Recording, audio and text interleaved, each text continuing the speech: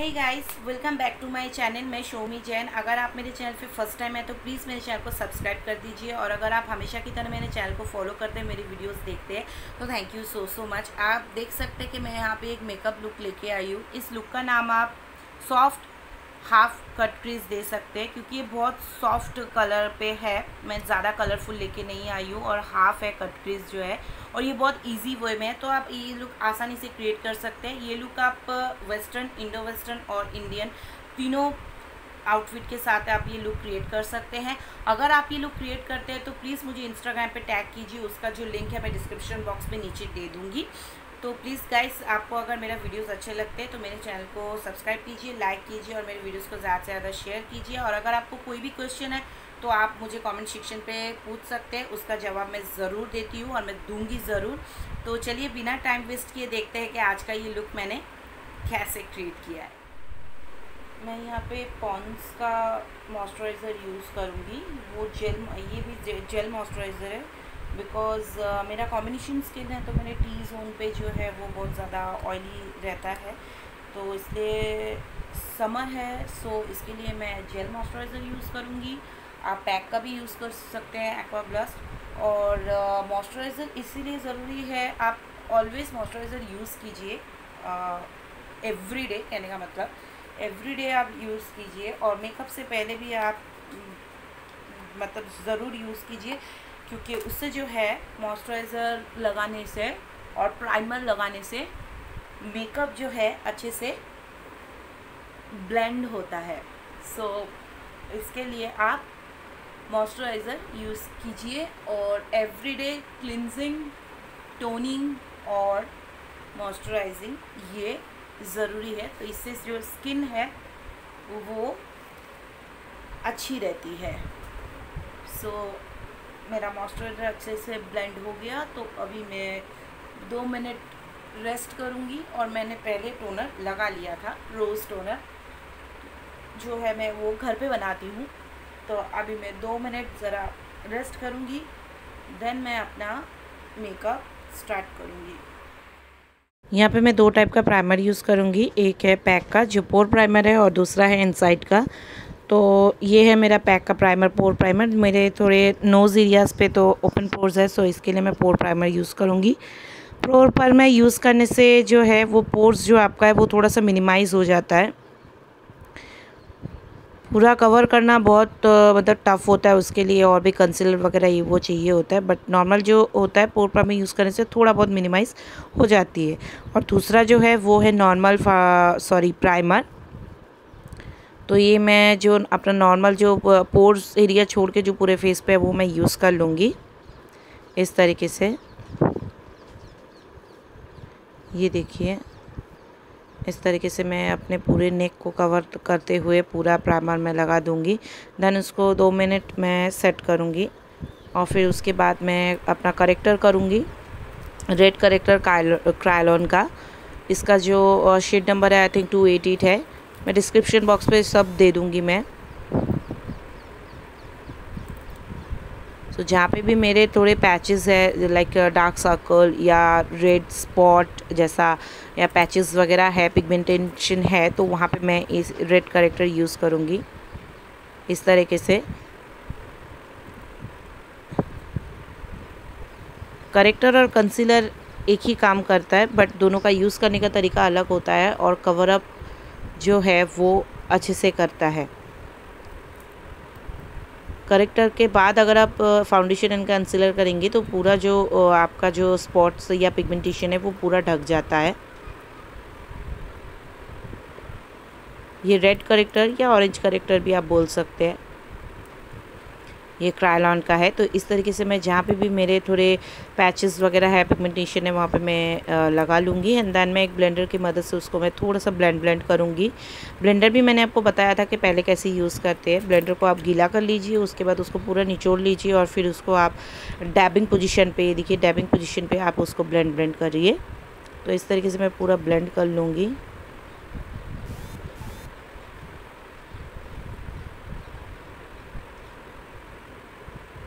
तो इस तरीके से आप पूरा ब्लेंड ब्लेंड कर लूँगी। आपको ऐसा लग रहा होगा कि बहुत ज़्यादा रेड और वो मतलब रेड रेड हो गया है बट नहीं, ये पूरा सेटअप हो जाएगा फाउंडेशन लगाने के बाद। मैं यहाँ पे आज दो फाउंडेशन यूज़ नहीं करूँगी, यहाँ पे मैं एक ही फाउंडेशन लगाऊँगी।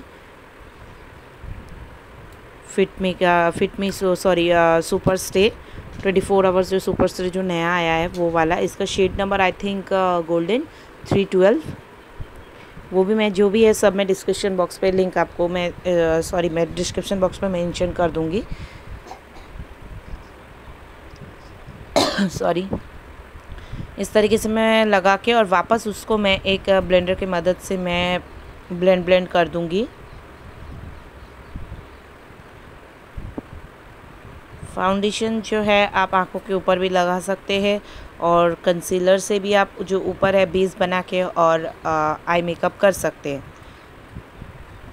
बट मैं पहले फाउंडेशन थोड़ा सा लगाऊँगी क्योंकि मेरे आँखों के ऊपर भी बहुत ज़्यादा मतलब डार्क सर्कल ऐसा थे तो मैं इसके लिए करेक्टर यूज़ किया था। और फिर उसके बाद जो है एक कंसीलर लगाऊँगी जो हाइलाइटिंग कंसीलर है। मतलब मेरे शे, मेरे स्किन टोन से जो है दो शेड लाइटर है। तो इस तरीके से मैं पहले अपने जो फाउंडेशन है, उसको मैं अच्छे से ब्लेंड ब्लेंड कर लूँगी। और मैंने आपको पहले भी बताया है कि फाउंडेशन जो है, कोई भी चीज़ है डैबिंग पोजीशन पे ही जाता है फेस पे। थोड़ा सा और लूँगी, मुझे ऐसा लगा कि थोड़ा कवर कम हुआ नेक एरिया पे और थोड़ा आइस के ऊपर और गाल पे कुछ जगह पे। फ़िलहाल भूत जैसा लग रहा है। ये देखिए, मैं थोड़ा सा गले पे लूँगी।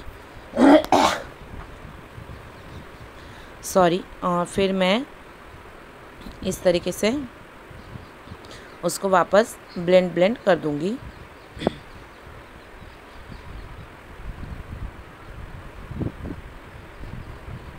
ये देखिए, इस तरीके से मैं ब्लेंड ब्लेंड कर दूँगी।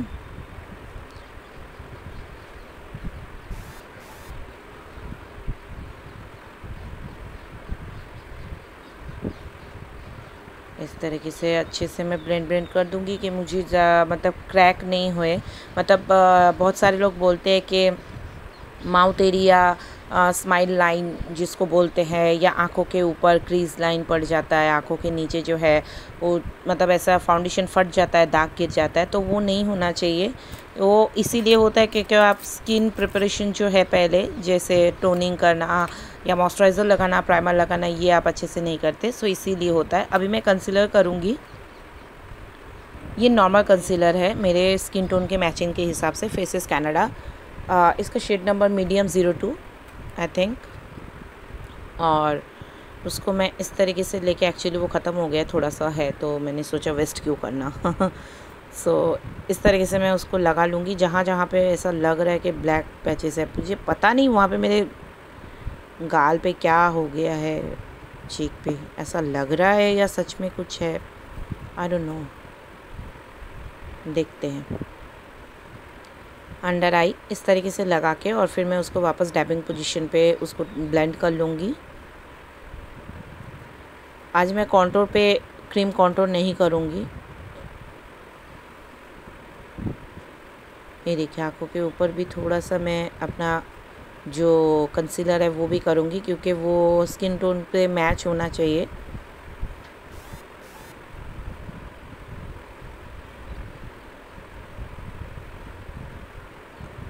इस तरीके से पूरा जो फेस है वो एक जैसे मैं टोन पे कर लूँगी। ये देखिए, इस तरीके से पूरा कर लूँगी। ये हो गया। आप देख सकते हैं फुल कवर एक जैसा लग रहा है आँखों के ऊपर क्या और आँखों के नीचे क्या। तो इस तरीके से आप बेस बना लीजिए। अगर आपको फुल मेकअप करना है, उसके बाद मैं अपने बेस को सेट करूँगी लूज़ पाउडर से। क्रायलॉन का है ये। ये देखिए, इसका शेड नंबर है टी एल फोर्टीन ये देखिए, ये वाइट भी नहीं है और पिंक भी नहीं है, ये सब स्किन टोन पे जाता है। तो ये ऐसा मैं एक पफ़ लूँगी और वो पफ़ की मदद से मैं पूरे अपने फेस को कर लूँगी। इस तरीके से आप देख सकते हैं। मैं अपने पाउडर कर लूँगी। अंडर आई के नीचे खास करके करूँगी क्योंकि वहाँ पे सबसे ज़्यादा लाइन गिरती है और आँखों के ऊपर भी।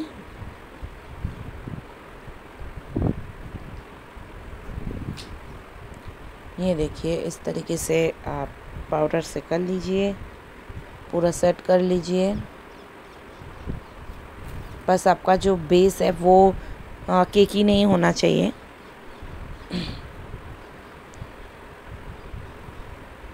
तो इस तरीके से आप कर लीजिए।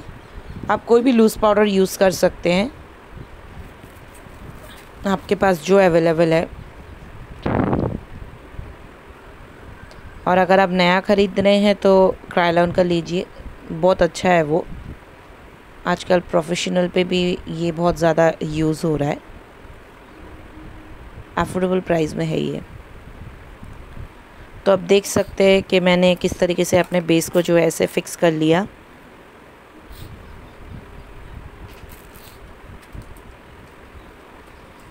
इस तरीके से आप कर लीजिए। फिर उसके बाद मैं अपना आईब्रो करूँगी। कलर बार का है। ये देखिए कलर बार चेस्ट नट एक ही शेड आता है कलर बार का। और ये मुझे बहुत ज़्यादा पसंद है।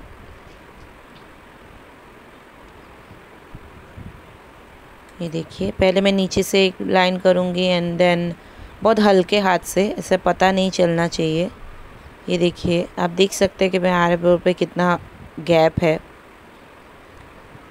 और इस तरीके से ऊपर एंड नीचे लाइन करूँगी और फिर उसको मैं हल्के हाथ से फिलअप करूँगी। बहुत ज़्यादा डार्क कर तरीके से घिसता नहीं है और सामने से जो है वो ऑलवेज़ हल्का मतलब लाइट होना चाहिए, ऐसा पूरा दिखना नहीं चाहिए। आप अभी दोनों में डिफरेंस देख सकते हैं। ये देखिए, आप देख सकते हैं कि कैसा पूरा चेंज हो गया। इसके लिए मैं हमेशा बोलती हूँ कि आईब्रो करना बहुत ज़रूरी होता है, चाहे आपका कितना भी अच्छा आईब्रो हो। और सेम तरीके से मैं दूसरा साइड भी आईब्रो कर लूँगी। ये देखिए, ये मैंने आईब्रो कर लिया। इस तरीके से।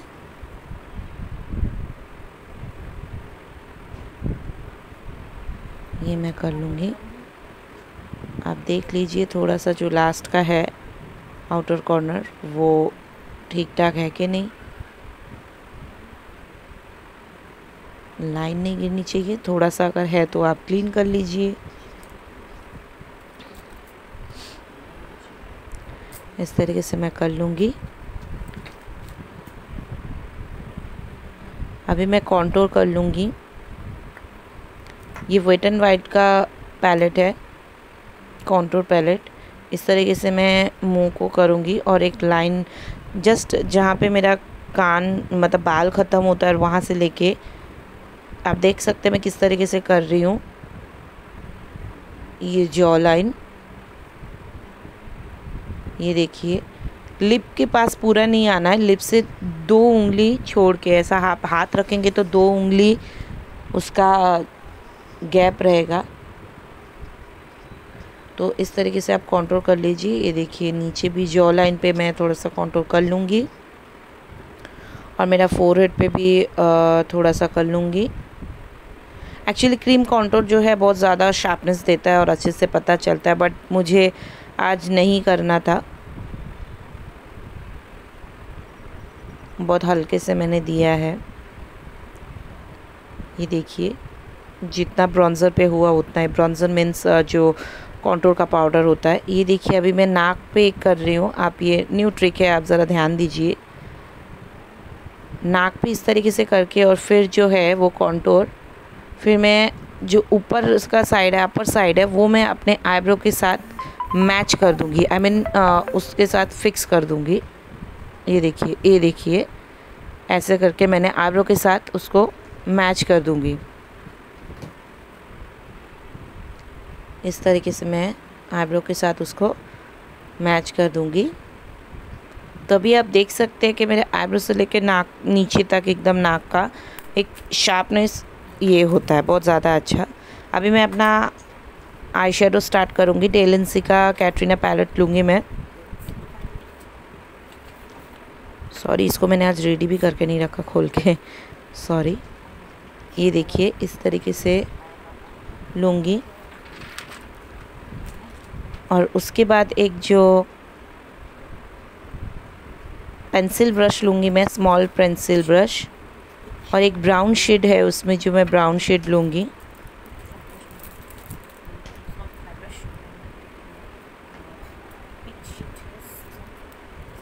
सॉरी ब्राउन शेड नहीं, पहले मैं जो है वो एक हल्का सा ऊपर जो है पीच कलर का जो एक है, वो एक पूरा आईब्रो से लेके पूरा एक ऊपर का एक नॉर्मल सा बेस में बना लूँगी। हल्का कलर का इस तरीके से लेके खाली ऊपर दूँगी और नीचे जो उसी का ब्रश में होगा, वही मैं नीचे ऐसे थोड़ा हल्का बहुत कर लूँगी, एक नेचुरल सा बेस इस तरीके से मैं उसको कर लूँगी। ये आप देख सकते हैं। किस तरीके से मैं कर रही हूँ। एक फ्लैट ब्रश के मदद से उस तरीके से मैं करूँगी।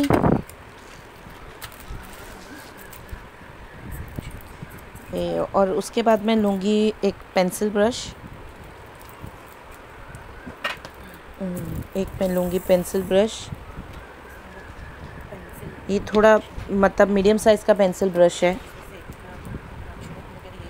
अभी मैं लूँगी एक ब्राउन शेड और एक हल्का सा उससे लाइट वाला ब्राउन शेड जो डार्क ब्राउन का शेड है, जो मैंने आपको बताया, वो है सिम्बॉल वो मैं जो अपना लाइन है क्रीज़ लाइन पे आप देख सकते हैं। क्रीज़ लाइन देने की कोशिश करूँगी। और उससे पहले जो मैंने पीच कलर का शेड लिया था, वो है ब्लेसिंग हल्का सा जो मतलब मेरा क्रीज़ लाइन है उसको मैं डार्क करूँगी क्योंकि मैं आज हाफ़ कट क्रीज़ बनाने वाली हूँ तो जो क्रीज़ लाइन है वो मैं थोड़ा ज़्यादा डार्क करूँगी। आप देख सकते हैं कि मैं किस तरीके से उसको लाइन दे के क्रीज़ लाइन को मैंने कर लिया। ये जो मैं आ, है इसका जो शेड नंबर है वो है सॉरी मतलब नेम है सिम्बॉल और फिर मैं जो है आप देख सकते हो ऐसे इस तरीके से दूसरा भी मैं क्रीज लाइन देने की कोशिश करूँगी डार्क ब्राउन के मदद से। आप देख सकते हैं किस तरीके से मैं दे रही हूँ।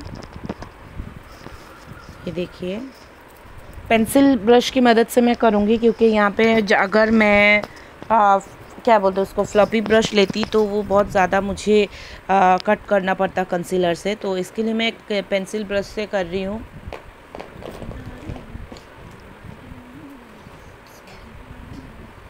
कि थोड़ा बहुत अच्छे से वो दिखे। और मुझे बहुत ज़्यादा कट भी ना करना पड़े। इस तरीके से मैं लूँगी वही अपना डार्क ब्राउन शेड सिंबल ये देखिए। इस तरीके से मैं थोड़ा बहुत करूँगी और ऊपर की तरफ़ थोड़ा हल्का हल्का ब्लेंड करने की मैं कोशिश करूँगी। और बीच में जो है वो ज़्यादा डार्क दिखे। और ये जो है मैं कर्व स्टाइल नहीं कर रही हूँ, ये मैं जो है सी स्टाइल पे करने की ट्राई कर रही हूँ। आई डोंट नो हुआ कि नहीं, आप लोग बताना अगर हुआ है तो।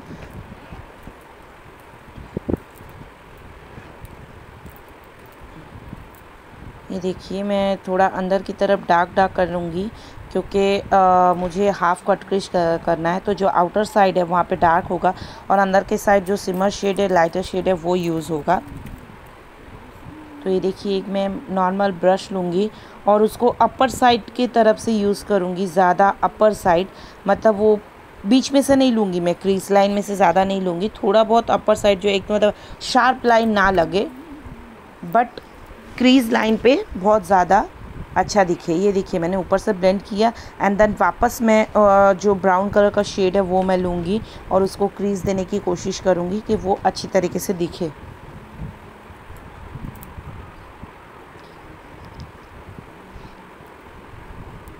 तो ये देखिए, इस तरीके से मैं दूँगी आई थिंक अभी मैं और एक पैलेट लूँगी।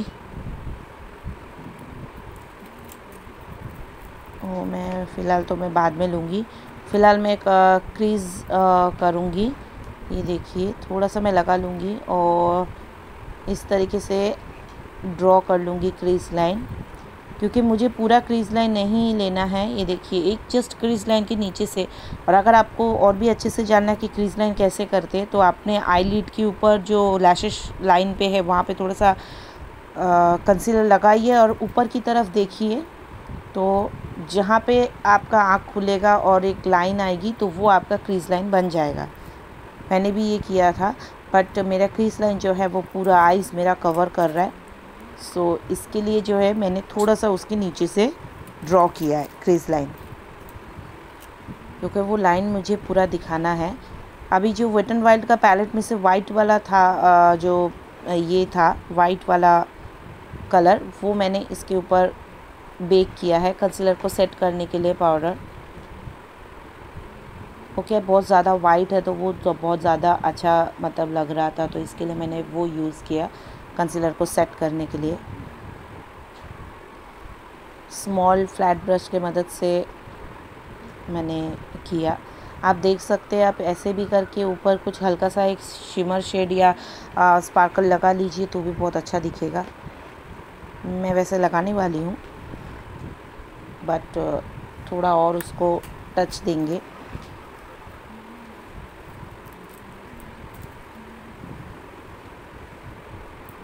ये देखिए ये देखिए, अभी मैं, आप देख सकते हैं कि मैं किस तरीके से फाइन लाइन कर रही हूँ क्रीज़ को।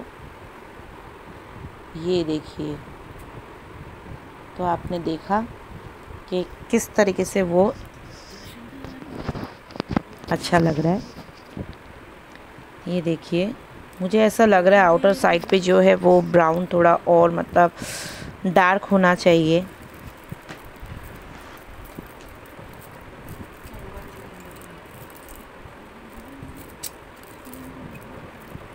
एक्चुअली मुझे ब्रशेस नहीं मिलते हैं इतने सारे ब्रशेस हैं। मुझे ढूंढना पड़ता है। सॉरी इस चीज़ के लिए। अभी मैं जो दूसरा शेड है वो लूँगी विंग बट uh, मैंने ये देखा कि बहुत हल्के से लगाया और फिर मैंने देखा कि अरे, ये तो मतलब दोनों कलर लगभग मिक्स हो रहा है। तो इसके लिए मैंने उसको ज़्यादा नहीं किया। पहले मैंने सोचा था कि मैं यही कलर करूँगी और उस पर मैंने उसके ऊपर मैं जो ग्लिटर है वो मैं ऐड करूँगी। बट ये नहीं हुआ। मैं आपको वो बता देती हूँ। जो मैंने सोचा था वो नहीं हुआ। इसके लिए मैंने चेंज कर दिया तुरंत। उसके बाद मैंने क्या लिया? एक शिमर शेड था।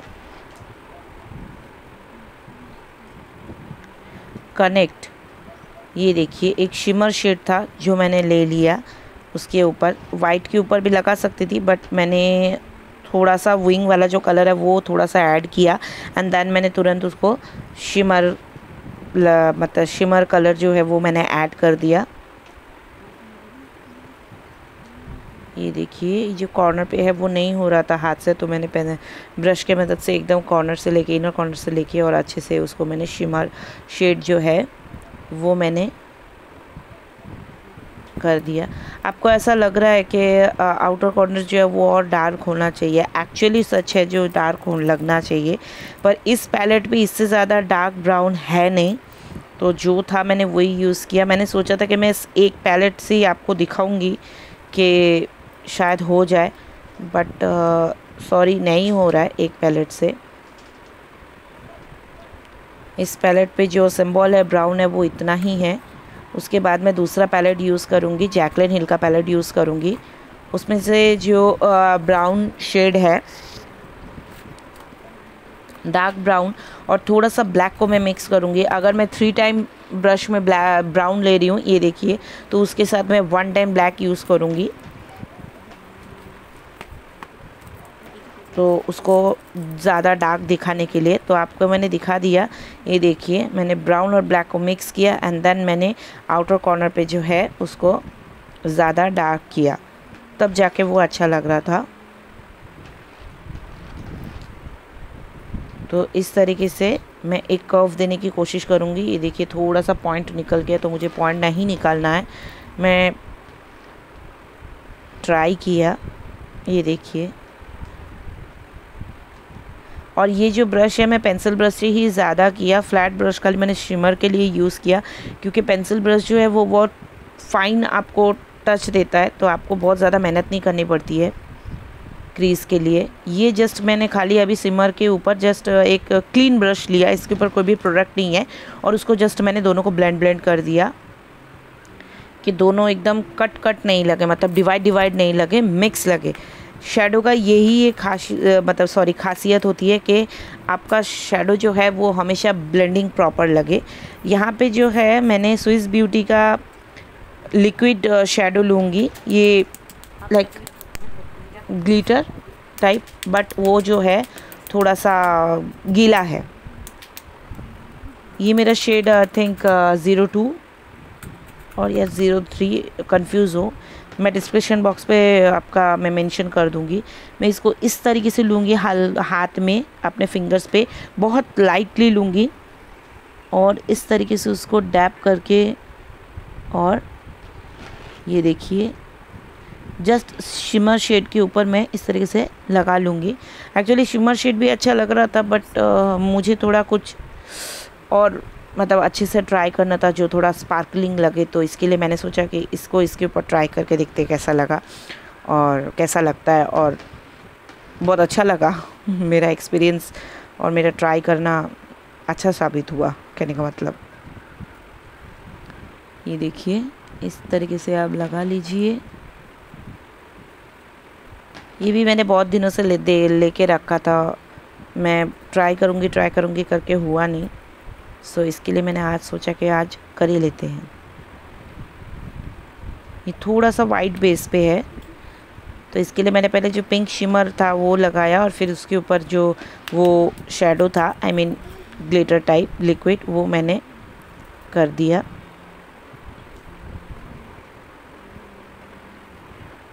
अभी मैं जो है लाइनर यूज़ करूँगी, अपना लैक्मी का लिक्विड लाइनर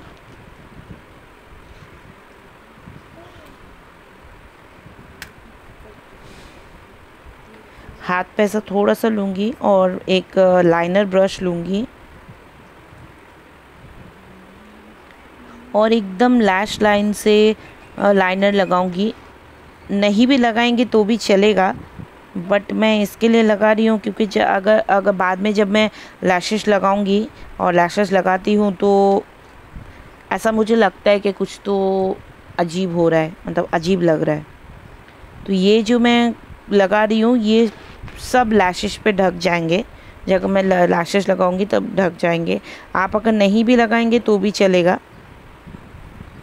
बट मैं लगा लेती हूँ क्योंकि मुझे वो गैप या वो फाइन नहीं चाहिए। जो लैशेज लगाने के बाद आ, थोड़ा बहुत दिखता है जो वाटर लाइन पे जो दिखता है वो गैप पूरा हो जाता है।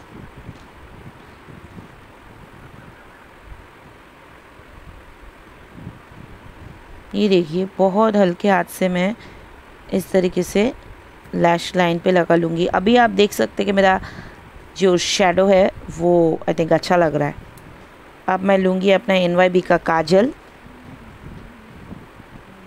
ये देखिए, इस तरीके से मैं लगा लूँगी।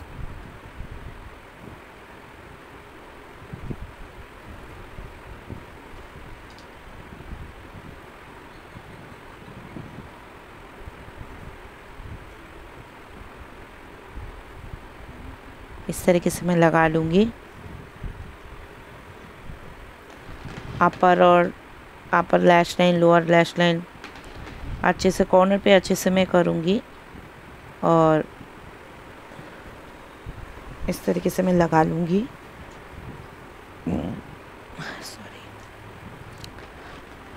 मैं ज़्यादा वीडियो को एड कट करके नहीं दिखाती हूँ। थोड़ा लंबा होता है कि आप लोगों को पता चले और आप अच्छे से सीख सके सो इसके लिए मैं बहुत ज़्यादा वीडियो को कट नहीं करती हूँ। नीचे बहुत ही थोड़ा सा मैंने लगाया मतलब नॉर्मली लगाया, उसको ज़्यादा मतलब घिस घिस के नीचे तक नहीं किया।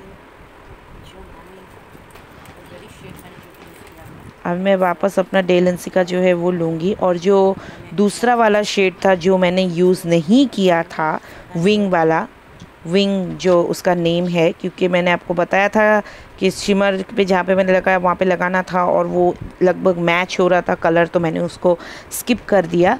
तो वो कलर मैं लूँगी और अपने काजल के साथ उसको स्मच कर दूँगी। आप देख सकते हैं, मैंने दिखाया मैंने आपको कि कैसा डिफरेंस आया आँखों पे। एक स्मोकी इफ़ेक्ट आया। मुझे आँखों के नीचे ज़्यादा स्मोकी इफ़ेक्ट जो होता है, वो देने मुझे ज़्यादा पसंद है।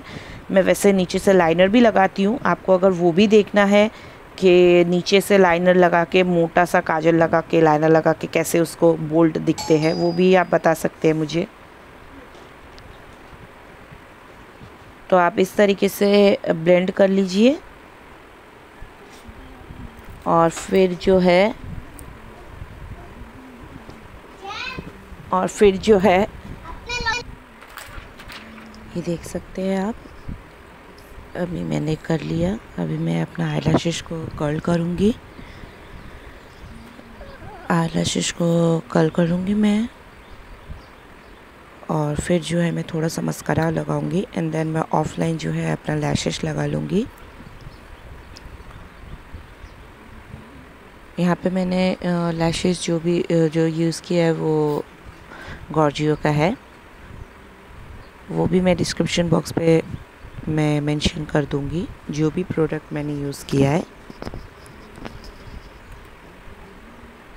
तो ये देखिए, मैं अभी थोड़ा सा मस्करा लगा लूँगी। ये मेरा मेबलिन का है। ये वाटरप्रूफ वाला नहीं है, ये वॉशेबल है। थोड़ा सा ही लगाऊँगी, क्योंकि मुझे लैशेस लगाना है। फिर लैशेस लगाने के बाद लोअर लैश को मैं ज़्यादा अच्छे से उसको मैं ये करूँगी। अपने लैशेस को अच्छे से ठीक करूँगी। लोअर लैश को। तो ये देखिए, ये मेरा हो गया लैशेस लगाना। अभी मैं क्या करूँगी, जो एक नियॉन शेड है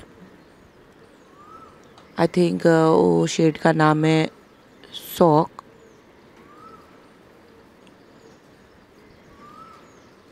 हाँ आई थिंक शॉक नाम है उसका। नियॉन कलर का एक है ग्रीनिश और येलो मिक्स किया हुआ तो वो जो है मैं उसको ऐसे इनर कॉर्नर पे मैं लगाऊँगी और मैं उसको जो है हाइलाइटिंग नहीं करूँगी। अभी आज मैं जो हाइलाइटिंग कर रही हूँ वो ये कलर से कर रही हूँ। स्पार्कलिंग कोई भी मैं चीज़ यूज़ नहीं करूँगी। सो so, इस तरीके से मैं उसको लगा लूँगी। और मैं लोअर लैश को अच्छे से फिर मैं मस्कारा कर लूँगी। आप देख सकते हैं कि मेरा लुक कितना चेंज हो गया।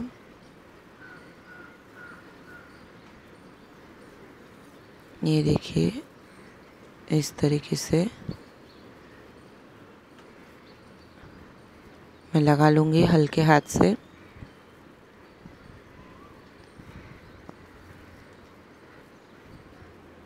थोड़ा सा, फिर उसके बाद मैं अपना लिप स्टार्ट करूँगी। तो बिकॉज़ मैंने बहुत सॉरी ब्लशर करूँगी। तो यहाँ पे मैंने दोनों पीच शेड ही ट्राई किया है। एक डार्क पीच है और एक लाइट पीच है। मैं इस तरीके से स्माइल करूँगी और जस्ट चीक बोन के नीचे मैं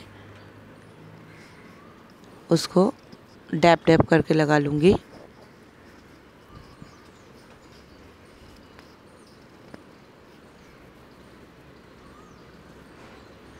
ये देखिए, इस तरीके से डैबिंग पोजीशन पे मैं लगा लूँगी। और देन मैं क्या करूँगी? हाइलाइटर लगाऊँगी मिस क्लेयर का। ये मिस क्लेयर का हाइलाइटर है, इस पर गोल्डन और वाइट दोनों मिक्स है। तो मैं एक हाइलाइटर ब्रश लूँगी और उसको अपने जो फेस है चीक बोन के पॉइंट पे, वहाँ पे मैं हाईलाइट कर लूँगी नोज़ पे कर लूँगी लिप पे कर लूँगी चीन पे कर लूँगी। और ब्राउ बोन पे भी कर लूँगी। तो जब मैं नोज़ पे करूँगी, आप देख सकते हैं, मैं थोड़ा सा अपर साइड जाऊँगी, क्योंकि वो ज़्यादा गॉर्जियस दिखता है। ये देखिए, इस तरीके से। ये देखिए, आज मैं आईब्रो के अपर साइड पे नहीं करूँगी।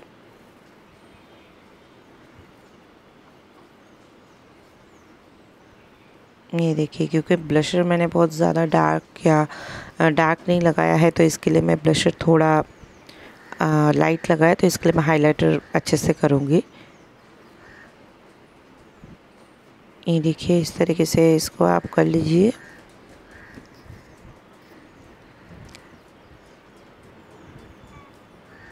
एंड देन जो है, अपना ब्राउ बोन कर लीजिए। पतला सा एक फ्लैट स्मॉल फ्लैट ब्लश लीजिए, थोड़ा सा, जो छोटा सा हो।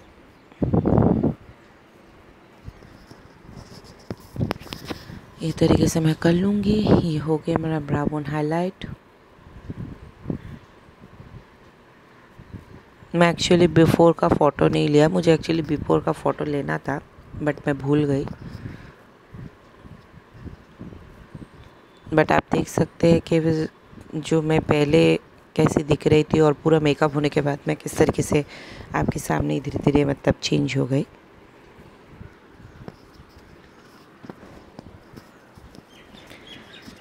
तो इस तरीके से हाईलाइट कर लीजिए। और फिर मैं अपना लिप चालू करूँगी।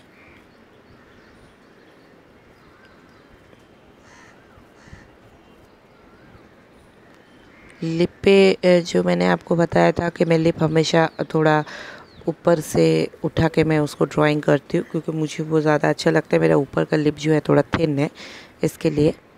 और मैं यहाँ पे न्यूड यूज़ करूँगी तो मैं न्यूड पिंक कलर का लिपस्टिक यूज़ करूँगी। और फिर आज एक ट्रिक भी मैं आपको दिखाऊँगी कि उसके ऊपर स्पार्कल कैसे करते हैं। तो फ़िलहाल मैं अभी लिप लाइनर ले रही हूँ मेरा।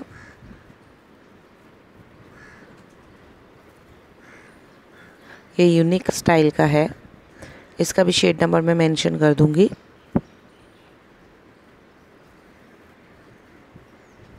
देखिए। इस तरीके से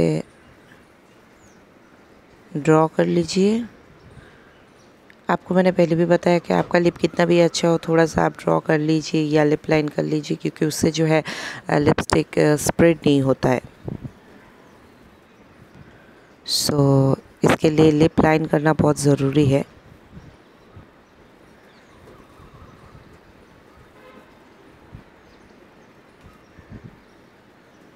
आप अभी मेरे आँखों पे ध्यान दे सकते हैं कि कितना अच्छा लग रहा है।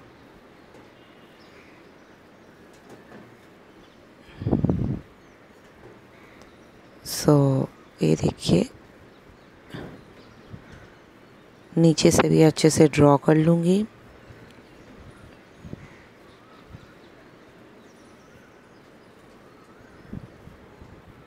ये रहा। ये रहा, थोड़ा सा मैं अच्छे से ड्रॉ कर लूँगी। एंड देन जो है, फिर मैं अपना लिपस्टिक अप्लाई करूँगी।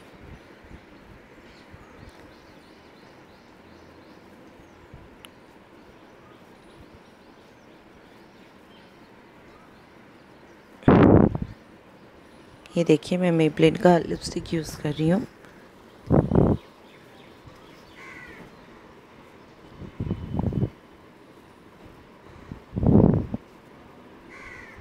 ये रहा। आप देख सकते हैं कितना मतलब पिंकिश कलर है बट बहुत ज़्यादा लाइट है। अभी मैं क्या करूँगी, एक ट्रिक दिखाऊँगी मैं आपको। जो मेरा शेडो पैलेट है, उसमें से जो स्पार्कलिंग वाला है, ये देखिए ऊपर एक मल्टी कलर जैसा स्पार्कलिंग है, वो मैं थोड़ा सा लूँगी और बीच में मैं, आप देख सकते हैं कि तुरंत चेंज हो गया। तो वो बीच में मैं थोड़ा सा उसको ऐसे डैप डैप करके पूरे लिप पे नहीं, खाली बीच में इस तरीके से थोड़ा सा डैप डैप करके मैं लगा दूँगी। और कॉर्नर पे ऐसा लग रहा है कि थोड़ा बहुत मतलब चला गया तो मैं उसको लिपस्टिक से उसे वापर कवर कर दूँगी।